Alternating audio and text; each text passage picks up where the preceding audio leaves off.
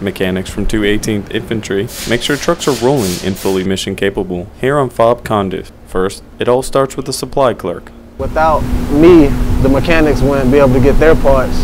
And without the mechanics getting their parts, there wouldn't be no trucks for the Army and for the soldiers to use to protect them out when they're on missions or on patrols. I get the uh, part, I put the bumper number on it, which is the truck number. Put the truck number on it so whenever my mechanics go back and check their box for parts, and that truck comes in, they'll just go to that part, say, all right, this for Charlie 2, and they pick up the box that says Charlie 2 and they go and put it on the truck. The mechanics then do a QA/QC, which stands for Quality Assurance, Quality Control.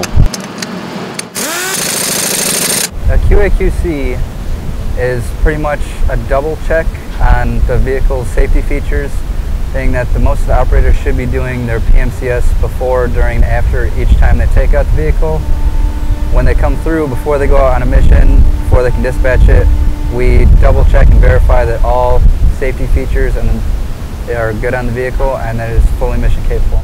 Most of the highlights we hit, we will go through, make sure all the lights are working.